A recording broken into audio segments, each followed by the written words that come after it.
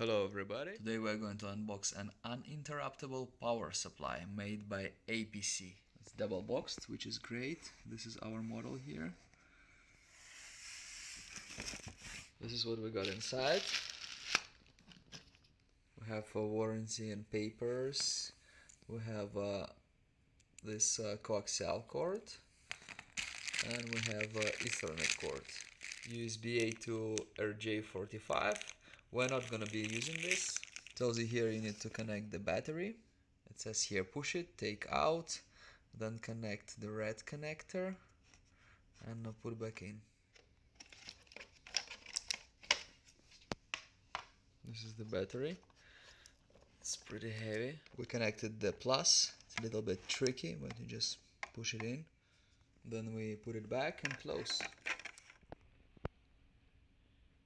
Schneider Electric.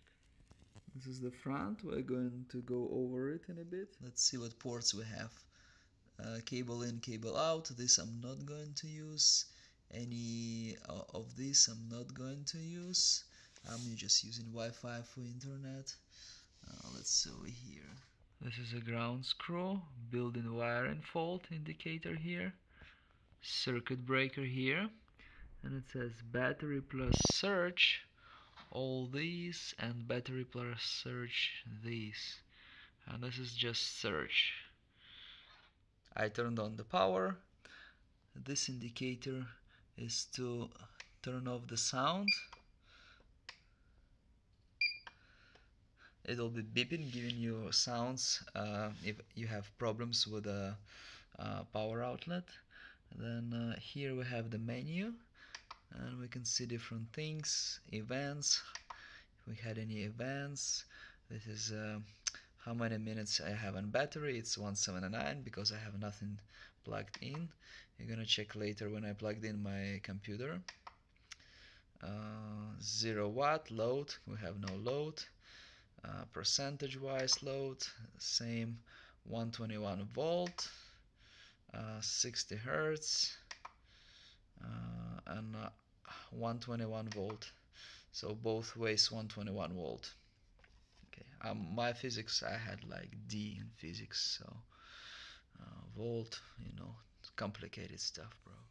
I connected my uh, desktop and computer monitor. Also this will be for charging like small things. I have an old version of this uh, with another computer for like 10 years and uh, I think I just changed battery once. Battery went bad after maybe 8 years of use. I must warn you, do not connect anything super powerful here like vacuum cleaners or hair dryers or some uh, amplifiers with uh, floor speakers and stuff. I connected the desktop and uh, the monitor and uh, I still haven't connected the speakers. I'm always a little bit worried because uh, they're kind of powerful right now it shows uh, it only uses like 60 to 80 watt but we're not doing anything on the computer. Even though it's uh, with a big video card here. You can even control uh, sensibility. Um, there is a lot of things you can do through the app and uh, you'll be just fine without any apps. I connected one of the speakers. We're listening to no music right now and it already shows 145 watt usage load about 160 watt usage right now with speakers connected. I made sure everything connected to power and surge.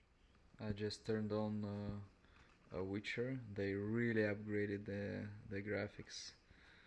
And uh, we have here 340 hmm. It doesn't look like I even use half the power playing Witcher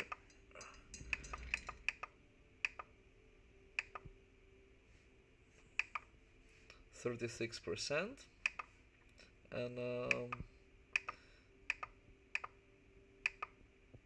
15 minutes.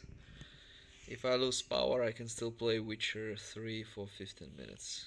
Shows the load here. So it's 2 bars of 5 which is not much. And battery is not fully charged yet. You need uh, something a lot more powerful to really load this thing by the way, I always wanted to show that uh, CPU is not that important in the games, most of games. GPU and RAM are far more important. CPU is just relaxing at 3% and it's not even a, something uh, super powerful here.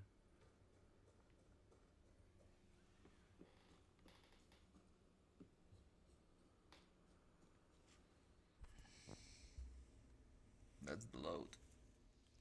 If safety of your equipment is very important and if you live in areas with hurricanes or whatever causes uh, uh, power issues, this is very important for your computer because sometimes in case of power outage your computer can just get burnt and this thing will uh, most likely protect it.